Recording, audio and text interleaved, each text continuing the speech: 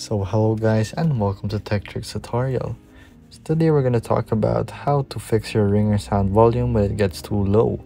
So here I will show you how to do it. It's pretty very simple. So here we just head onto your settings and then here you'll have to go to your face ID and passcode.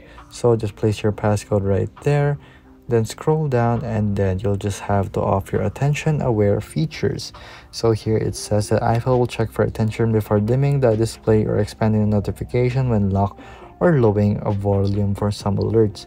So basically when someone's calling you and you get a low uh, sound when you get a call uh, just turn this off and you will be back to normal again. So when someone calls you you will have the full volume of your iPhone back to your full extent. So there you go guys. That is how you fix it. Thank you for watching and see you again next time.